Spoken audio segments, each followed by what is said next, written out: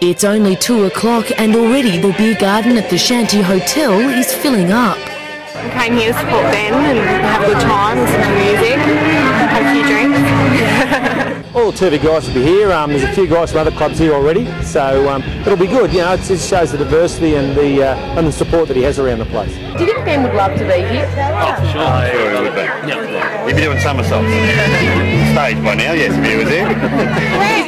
The afternoon is the first organised fundraiser for Ben Harper, who became a quadriplegic after breaking his neck six weeks ago. Everyone involved in putting today's event on did it for free. It's overwhelming right from day one. It's been um, the amount of support there has been huge. So we're talking about Ben Harper, so it doesn't surprise really. It didn't really matter what music was playing, people were just here to show their support for Ben and his fiancée Jo, who need as much financial assistance as possible.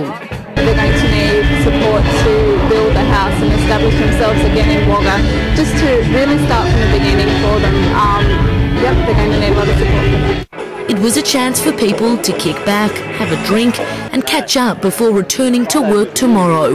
The only thing missing, Ben Harper. Probably he uh, probably doesn't like us all throwing a big shindig in his honour, but um, he'd be appreciating it, and, and um, he knows that we'll, we'll all have a few beers for him. And,